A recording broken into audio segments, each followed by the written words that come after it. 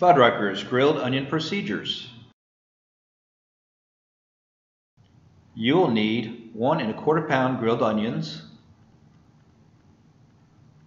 one fourth cup of bun oil, and one and one half teaspoons of spud spice.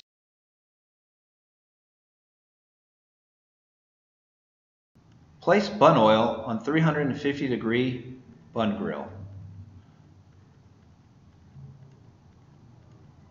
Add grilled onions.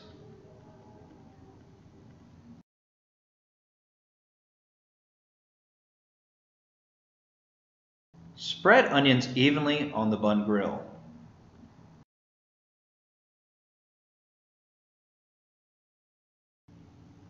Cook onions for two minutes.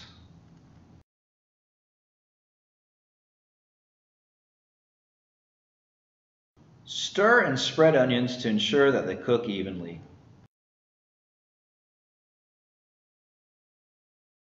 Cook for an additional two minutes.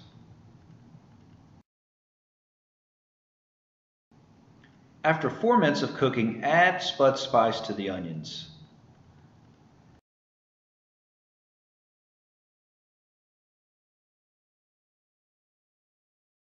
Mix onions thoroughly and cook an additional two minutes.